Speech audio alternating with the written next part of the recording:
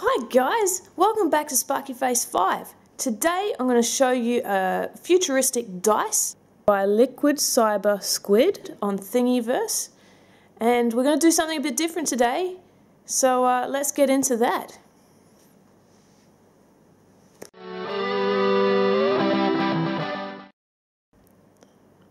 So I found this futuristic dice by Liquid Cyber Squid on Thingiverse, and uh, the funny thing with dice is I've never had much I've never had much luck printing them. So I thought, how about I print it on the edge at a at a 45 degree angle and see what happens.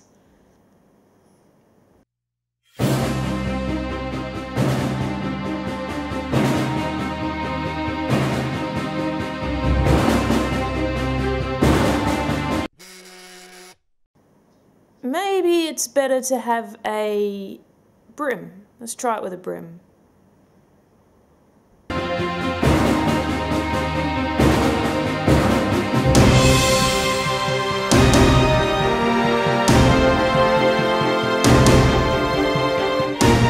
Ding! Ding! Victory!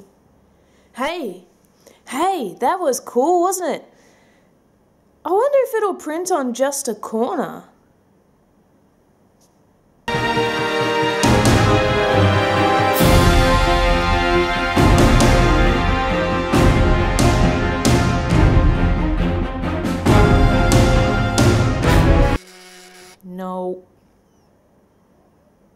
Maybe it'll print on just a corner if I use some support for the for a little bit.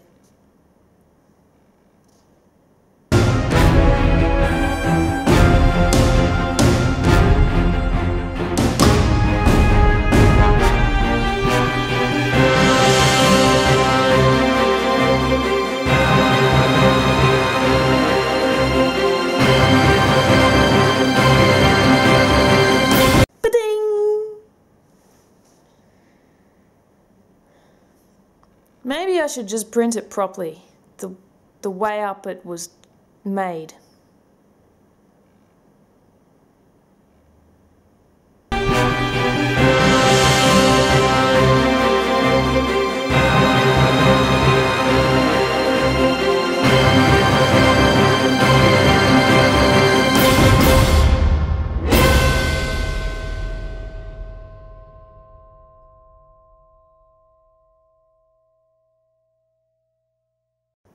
Ba-ding! Okay, so here's the results of all the different ways that I could think to print the cube. Um, first of all, here is the the first attempt at printing just on the edge there. And I don't know if you can see it on the camera, but there's quite a bit of discoloration where it was attached to the print bed. Here's what happened when I tried to print on just the corner using only a, a brim to try and hold him down. The one that was printed on the side, it was this edge here, this one, uh, uh, this way, and it came up really nice. Now all of these are printed in three layers thick, two millimeters layer height, and 0% infill. That one's a good one. Next up, um, the one that I printed with the supports. So, um, from the top, everything everything looks fairly good.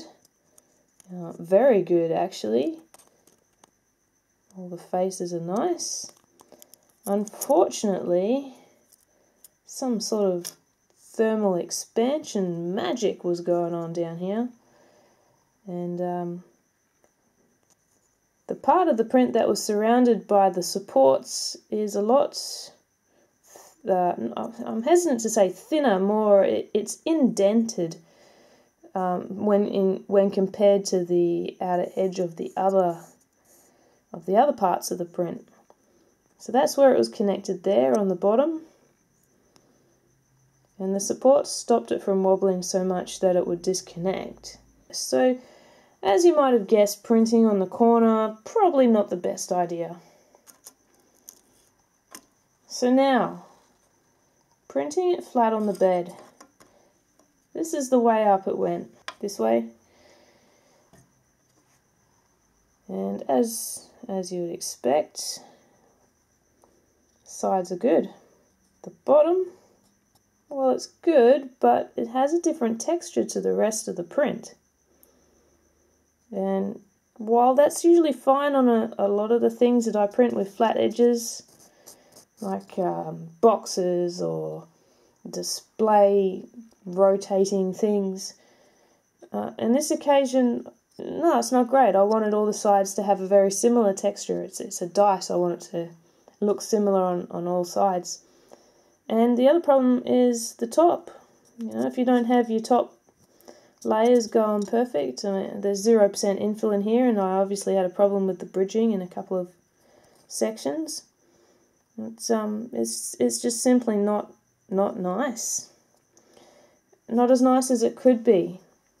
Uh, the print itself, uh, the design, I quite like it. It's quite um, reminiscent of like Fifth Element sort of stuff, but not quite. So yeah, my final verdict is um, I think the best orientation in my experience is to print it on on an edge like this. It gives the least amount of surface area that you need to clean up from the bed. And the and the sides all all look pretty much the same. Alright, so there you go, all the different ways that I've tried to print this futuristic dice model. Um, I've put the link down in the description, so if you like the design of this, you can download it off of Thingiverse and um, have fun. Ciao!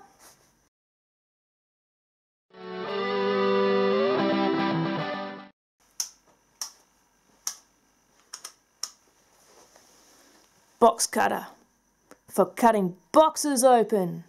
In my next video, I'm going to be opening the Cocoon 3D printer that the Aldi stores in Australia were selling the other week. Stay tuned.